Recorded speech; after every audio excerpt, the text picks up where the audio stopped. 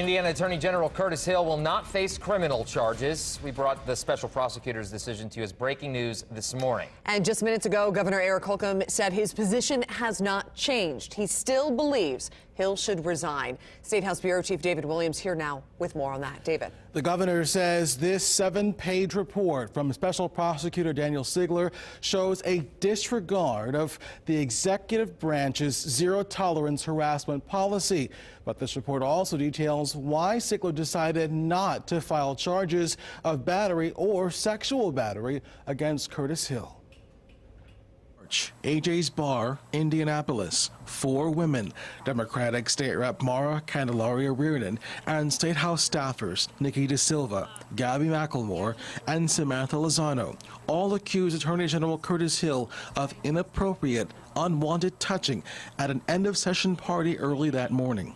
I took their statements from the perspective that I believe them. I did find them to be credible because I wanted to I wanted to decide if I believe them uh, is there a case for prosecution? So I did believe them, and nonetheless, I decided I didn't think I could meet my, my burden. I did not feel I could prove the intent of Curtis Hill to be rude, insolent, or angry. Instead, Sigler says Hill was overly friendly and touchy with everyone in the bar. The Inspector General's report states special agents interviewed 56 witnesses. Several witnesses told investigators Hill's conduct was inappropriate, quote, creepy, unwelcome, and made many of the women at the party uncomfortable. Sigler says he didn't speak directly to Hill. Instead, through his lawyers, Hill gave a video recorded statement. From his statement, he does not deny touching okay? But there's a lot of vague in-betweens on all that, so there's no, there, there, there, was no denial that there was touching. There's no denial. Uh, there's disagreement as the extent of it, as you might imagine. But Sigler says the exact timeline of what happened that night is hard to prove. There's no ability to say this happened at this time, this person was here and that person was there. I, I, that, was just impossible. Today, Hill's attorneys sent a statement saying in part, quote, Mr. Hill will continue to serve the people of Indiana in the capacity for which he was elected as the Indiana Attorney General. Today, the Inspector General's office said, quote, while the findings of our investigation did reveal unacceptable behavior by a state office holder and which significantly impacted those affected, we respect the grounds on which Special Prosecutor Sigler made his decision. We also got a statement from President Pro Tem David Long. He says he believes Hill stepping down is the right thing to do.